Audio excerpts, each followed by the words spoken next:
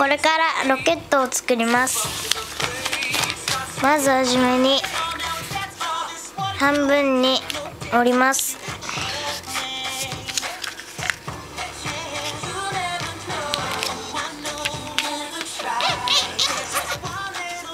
そして戻します。そして位置を変えてそしてまた折ります。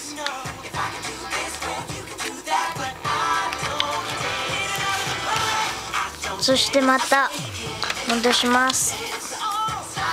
そしてこの上のところをこの中心に合わせて折ります。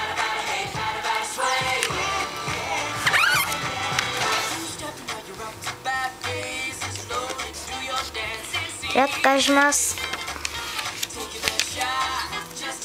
そして真ん中に向けて折ります。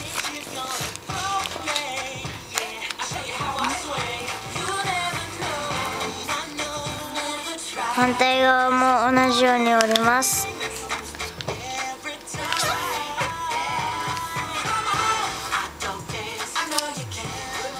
そして真ん中に向けて折ります。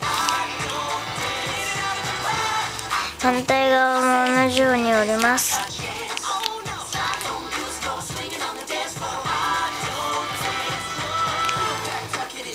して点線で折ります。反対側も同じように折ります。